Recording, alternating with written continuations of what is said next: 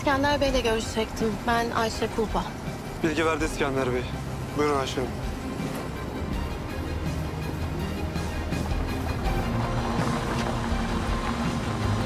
Kapat kapıyı. Gel. Efendim, Ayşe Hanım geldiler. Buyur.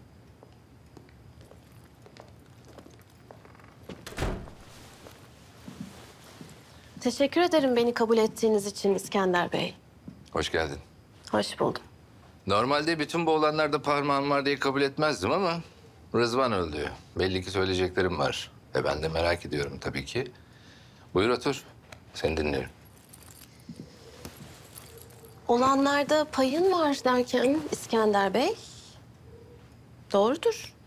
Gamze ile Rızvan Leto'nun tanışmasına vesile oldum. Ama ne gerisinin benimle bir ilgisi var ne de son olanların. Benimle yalansız dolansız açıkça konuş ki yapabileceğim bir şey varsa yapayım. Ama yok buraya Gamze'yi affet. Kocası öldü. Babasının evine dönmek istiyor diye geldiysen boşuna nefesini tüketme. Tam da onun için gelmedim İskender Bey. Beni buraya Fikret gönderdi. Ha. Şimdi oldu bak. Anlat bakalım. Fikret diyor ki... Babamın ölümünde bilerek ya da bilmeyerek, isteyerek ya da istemeyerek benim dahlim var.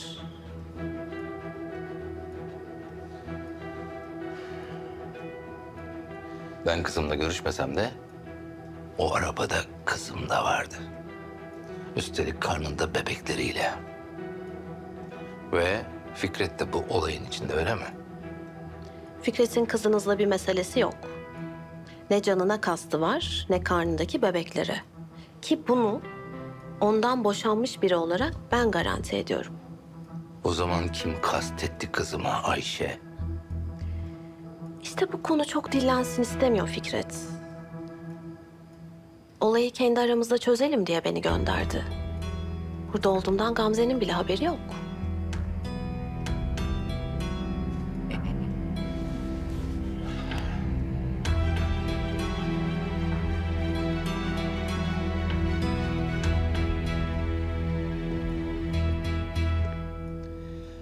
Daha bugün dedim ki Fikret kiralık katilleri buldu, babasından kurtuldu.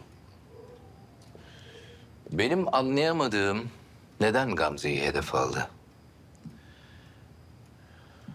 Şimdi söyle bakalım. Annesi mi yaptı bu işi? Nedim'e mi? Yani bunu söylemek bana düşmez İskender Bey. Ama madem Fikret her şeyi üstleniyor, şu an ondan ne isterseniz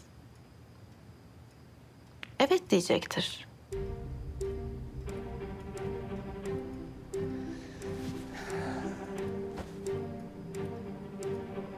Ne istersem. Ne isterseniz. Olur. Gidip konuşalım halde. Bakalım Fikret ne verebiliyormuş.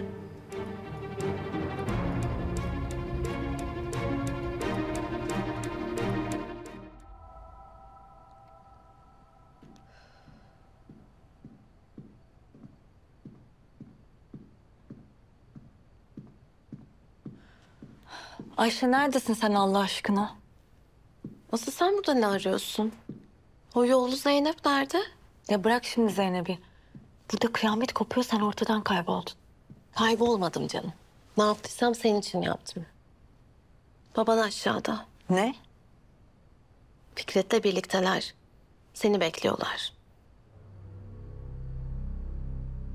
Bahaneyle kızını affetmene sevindim İskender. Zaten burada kalması için de bir sebep kalmadı.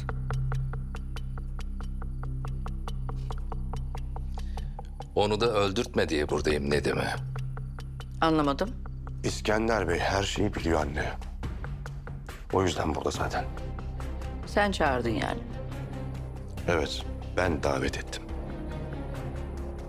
İyi. Kızını da alsın gitsin o zaman. Maazallah. Merdivenden düşer, kaza olur. Benden bilinsin istemem. O işler öyle olmaz ne değil mi? Hem ailemden birine kastedeceksin. Hem de bu işten sıyrılacaksın. Ne yapacaksın?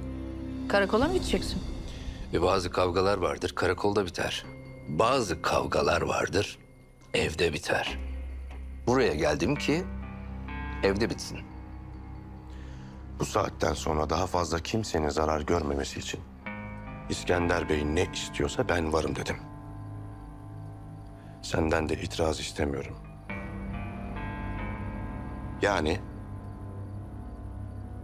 ne diyorsa o olacak. İyi. Ne istiyorsa söylesin bakalım. Yapabileceğimiz bir şey varsa yaparız.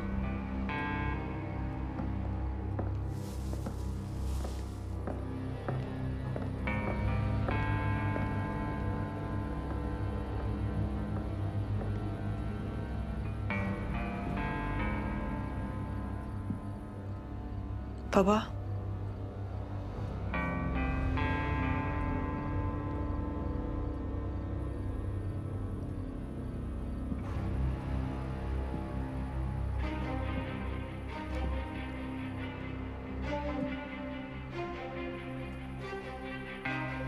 Hoş geldin.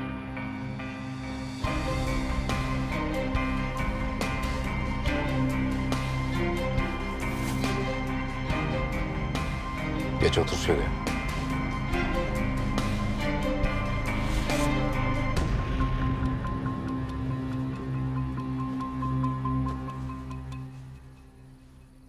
Hiç kimse istemez ki kızı babasının rızası olmadan evlensin. Beni çok üstün. Özür dilerim baba. Ben seni de ailemi de üzmek istemedim. Şimdi de sen üzüldün. Ama önemli olan bundan sonra karnındaki masumların güvenliği. Bunu sağlamak için buradayım. Kahve içer misiniz İskender Bey? Olur. Bir acı kahvenizi içerim. Belki 40 yıl hatırı olur. Ha?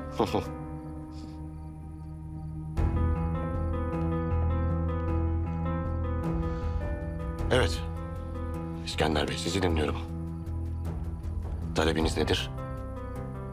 Nasıl sulh olacağız?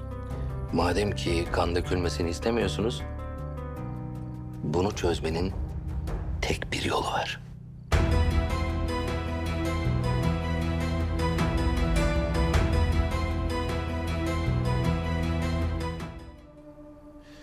Şimdi o talep ettiğiniz şey pek mümkün değil de İskender Bey. Başka bir şey konuşalım.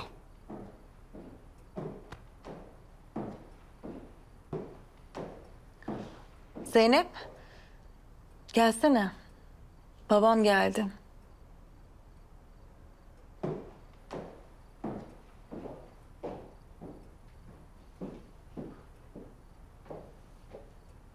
Hoş geldiniz.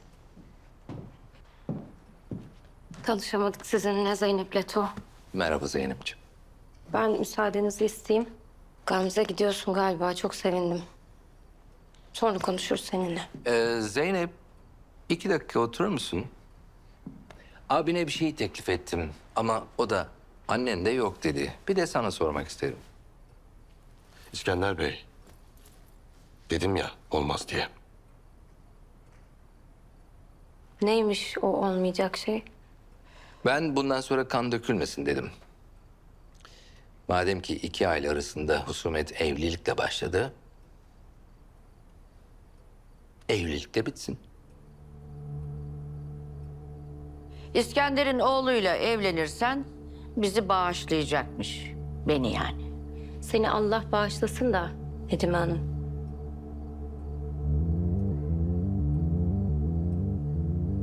Zeynep, eğer oğlumla evlenirsen... ...herkes güvende olacak. Sen ne dersin? Demin de dedim ya İskender Bey. Siz bakmayın Zeynep'in Halil İbrahim'le boşanmasına.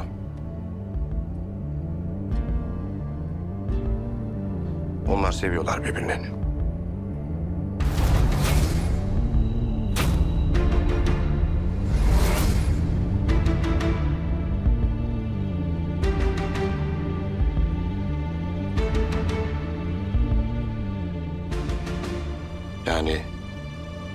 Olmaz o iş.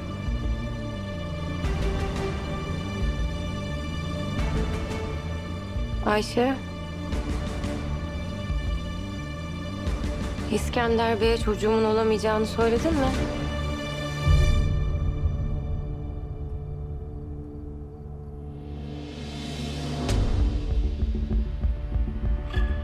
Benden bir varis bekleniyorsa boşuna beklenmesin.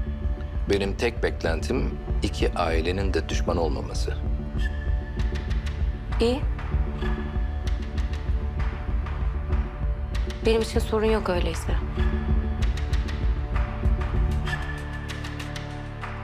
Teklifinizi kabul ediyorum. Oğlunuzla evleneceğim. Çıldırdın mı kızım sen? Tanımadığın, bilmediğin bir adamla evlilik de neymiş? Olmaz öyle şey. Nereye gitsem bu evden daha iyidir.